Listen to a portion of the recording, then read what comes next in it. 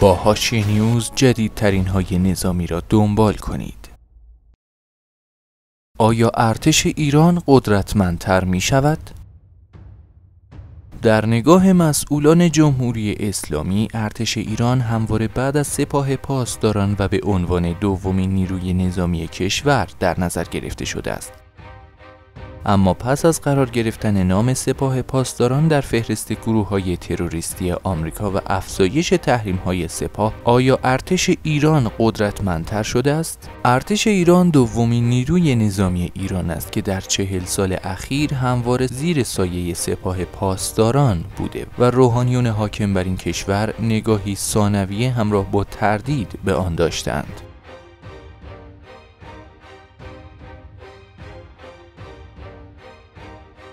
روحانیون حاکم بر ایران ارتش و ساختار آن را محصول حکومت پهلوی می‌دانند و طی چهل سال گذشته هرگز نقشی استراتژیک به این نیروی نظامی ندادند. اما در سالهای اخیر این نیرو شاهد تغییراتی کم سابقه است. با اضافه شدن نام سپاه پاسداران در فهرست گروه های تروریستی آمریکا و افزایش دامنه تحریم های این نیروی نظامی فهرستی کم نظیر در اختیار ارتش قرار داده تا خود را از زیر سایه این نیروی نظامی و ایدئولوژیک بیرون کشیده و نقش پررنگتری در جمهوری اسلامی ایفا کند. سه ماه پس از تصمیم آمریکا بود که فرماندهان ارتش اعلام کردند رویکرد این نهاد نظامی از حالت دفاعی خارج شده و حالت هجومی به خود گرفته است.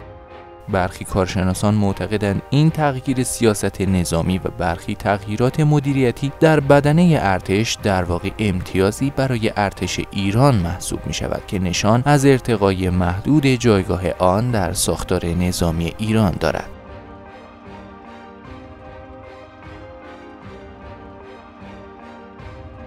تغییرات فرماندهی ارتش ایران پس از دوازده سال و نیز انتخاب وزیر دفاع از میان صفوف ارتش نشان از حرکت جدیدی برای بازسازی و ارتقاء ارتش دارد که با انتصاب سرلشکر محمد باغری به ریاست ستاد کل نیروهای مسلح کلید خورده است. باغری هرچند از سپاه آمده اما رابطه خوبی با ارتشیان دارد. بابک تقوایی از جمله کارشناسان مسائل نظامی ایران است که در این باره می‌گوید که تلاش آیت الله خامنه ای و مسئولین رژیم در جلوگیری از استقلال ارتش و افزایش فرمانپذیری پرسنل و فرماندهانش است. این کارشناس نظامی می‌گوید که حضور احمد رضا پوردستان در صحن مجلس اعتراض او به بودجه کم ارتش و بیان مشکلات معیشتی و ضعف ناشی از نبود تجهیزات مدرن همگی چهره ای غیر مطیع از او او در مقابل خامنه ای ساخته که متعاقبا منجر به برکناری او شد به اعتقاد او تحولات مدیریتی و تغییر فرماندهان ارتش در سالهای اخیر برنامه آیت الله خامنه ای در راستای جلوگیری از ایجاد شخصیت کاریزماتیک فرماندهان سابق ارتش در میان پرسنل ارتش بوده است.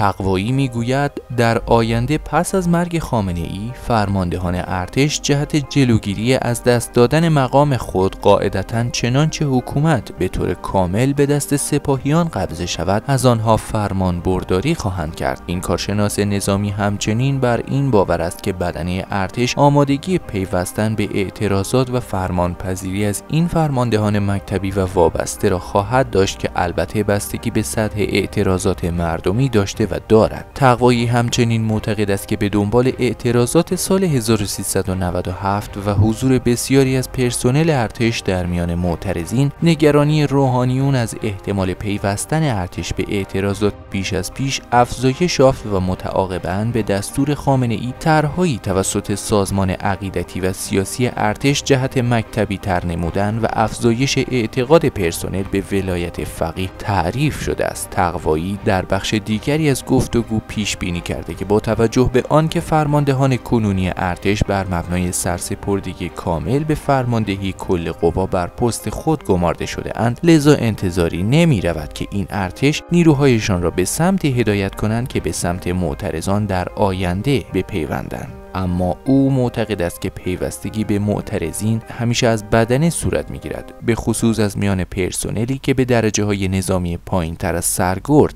در حال خدمت هستند. به گفته تقوایی فرماندهان کنونی به سمت قدرتمندتر دعوای سیاسی بین جناهای حاکم حرکت کرده و متعاقبا آن فردی که از سوی آنها و حتی سپاه پاسداران به رهبری برگزیده شود را میپذیرند و در تعیین رهبر آینده و مجادلات سیاسی آن نقشی نخواهند داشت. مهران توسلی یکی از تحلیلگران مسائل سیاسی ایران معتقد است که آیت الله خامنه ای به نحوی متقاعد شده که موازنه میان ارتش و سپاه را به گونه ای تغییر دهد که توان کنترل آنها را هم داشته باشد. او در گفتگو با ایران اینترنشنال نارضایتی ارتشی ها از میزان حقوق خود در مقایسه با نیروهای سپاه پاسداران و نوسازی نشدن بدنه ارتش طی چهل سال گذشته را از مهمترین دلایل این تغییرات عنوان کرده است. توسلی می‌گوید که تزریق خون جدید به ارتش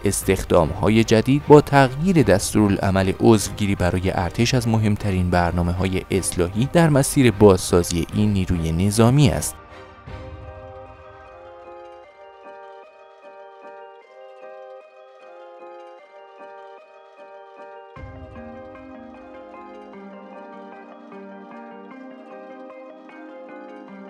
این کارشناس مسائل سیاسی معتقد است در صورتی که نارضایتی ها به طور اصولی در ارتش حل نشود و آنها به بازی گرفته نشوند و در صورتی که جانشینی رهبری آینده با توافق درون ساختار قدرت و توجه به افکار عمومی حل نشود آنگاه ممکن است جناهای قدرت برای یارگیری سیاسی به سراغ ارتش بیایند که می‌تواند برای سیستم چالش برانگیز باشد. وبسایت خبری تحلیلی میدل ایست آی هم تغییرات در ساختار ارتش را اقدامی در جهت خروج این نیروی نظامی از زیر سایه سپاه پاسداران و حرکت به سمت استقلال ارزیابی کرده است. مرکز مطالعات و تحقیقات در این زمینه نوشته است که ارتش ایران بر این باور است که سپاه پاسداران از مرز وظایف و اختیار خود عبور کرده و رفتار آن فراتر از یک نیروی نظامی رفته است و انگار مافوق قانون عمل می کند.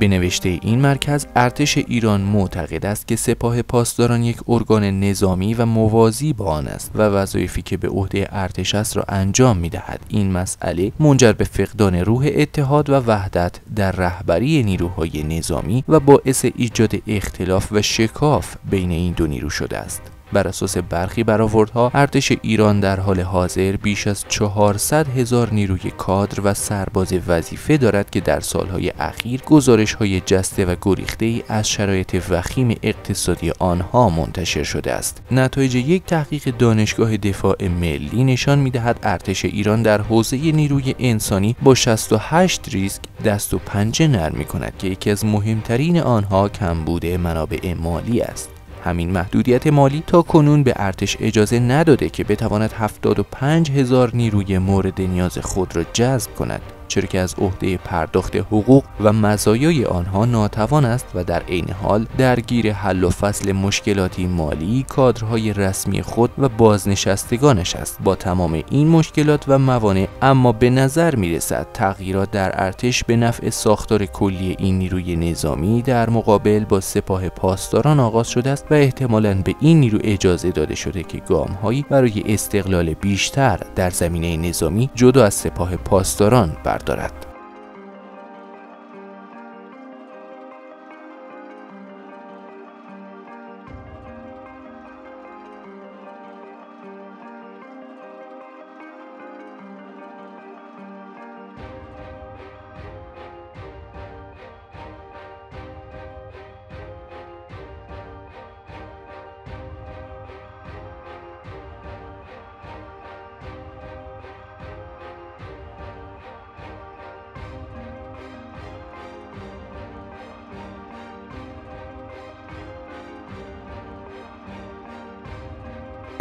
caught in the crossfire.